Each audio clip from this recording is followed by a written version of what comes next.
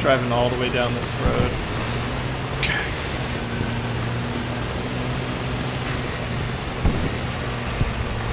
Alright, let's see. What color should we use for armor?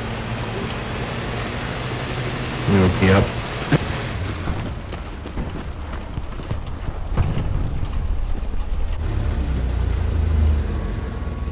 Oh my god, I got it. I fucking got it. I satcheled it. Hell yeah. They turned it off to repair it. Okay. So the Luchs is going to go basically up that road and, and be a blocking I got him. force for that truck. Yeah, and if they don't come into contact with it, then they just cut in. I Yeah. think they'll, they'll know to do that.